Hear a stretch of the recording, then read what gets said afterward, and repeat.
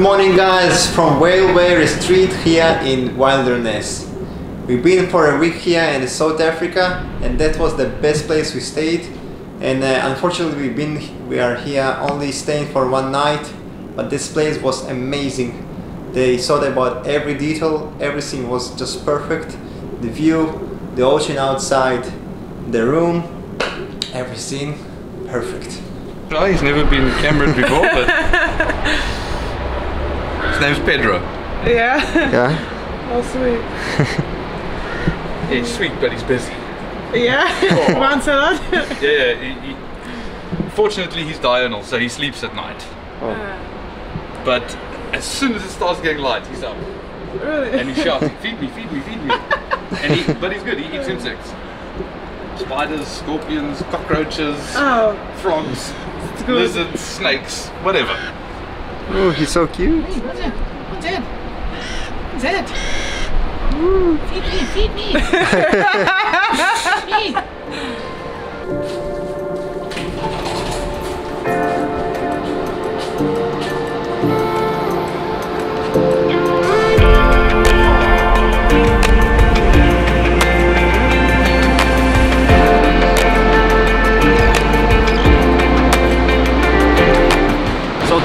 Wanted to go to Eden Adventures to do kayaking and hiking.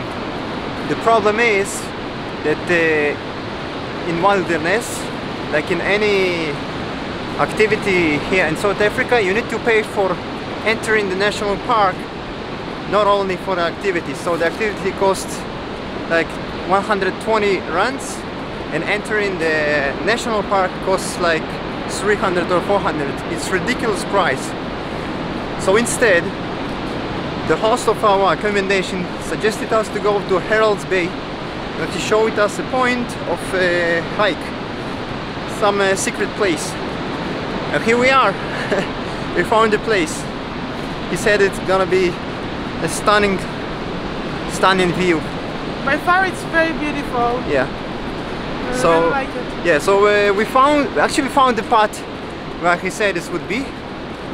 Let's find out where it take us. We walked across the bushes and the forest and now we revealed this stunning view. Look at that. Herold's Bay. And maybe we'll see some uh, whales in the ocean, who knows. Let's go.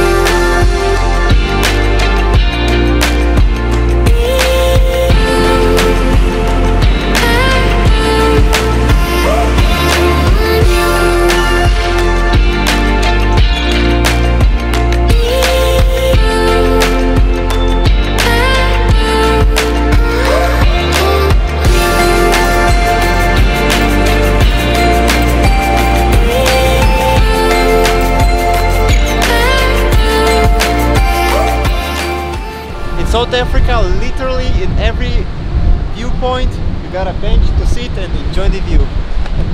If you want to find a spot, look for uh, Herold's Bay, Gus Meyer Street, and just continue forward and you'll find the entrance to this spot.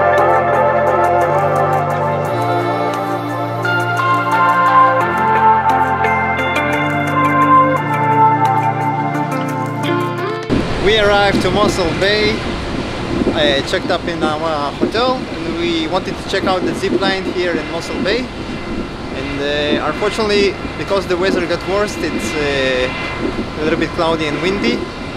Looks like it's closed. I hope it will be open tomorrow.